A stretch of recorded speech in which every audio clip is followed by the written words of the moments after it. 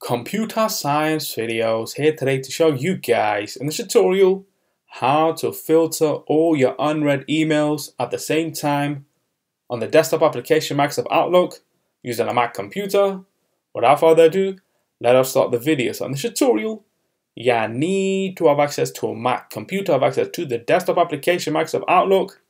We can now start the tutorial before I start this tutorial, I would like to say that you are more than welcome to subscribe to my channel, Computer Science Videos. As we know, every problem is solved by indirection.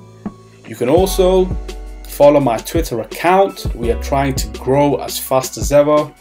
I'm on TikTok. We post videos here and there. Follow my page on Facebook. I'm also on Instagram you are more than welcome to support me on PayPal. Let's now focus on the video. So now let's go button to the dock. Go to Launchpad, go to the application Microsoft Outlook, search for this, enter to open up the application, wait for that to load. Once it is loaded, what we will do for the purpose of this tutorial is to select a couple of emails and then mark them as unread. So we'll just do any random email that we click on so that's number three, number four, five, and six.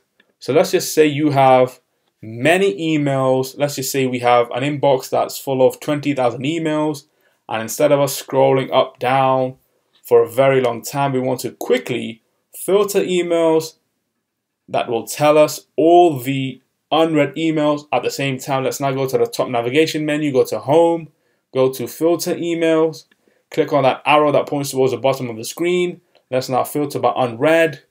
And there we have all these six emails that are now unread. So if we want to, let's just say, read these emails, let's now click on the email.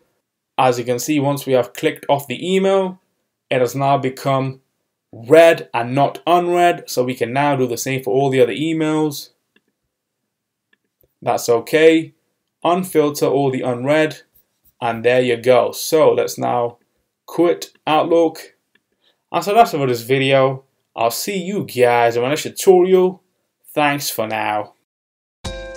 Thank you for making it towards the end of the video. Be sure to subscribe to my channel, Computer Science Videos. Be sure to check out the previous video on screen now, or you can ideally click on the playlist and watch all the journey for computer science videos from the start until now.